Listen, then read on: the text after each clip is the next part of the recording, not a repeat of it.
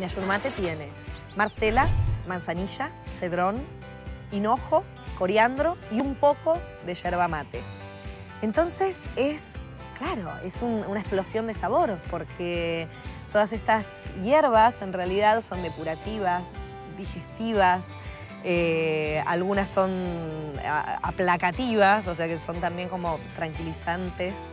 Eh, descongestivas, eh, entonces no, no, no, tengo más. Antes, antes por ahí me podía doler un poco la panza, hay gente que le agarra acidez con el mate, mm. entonces ahí los convertí, dije, probate una yurmate, me encanta la yurmate.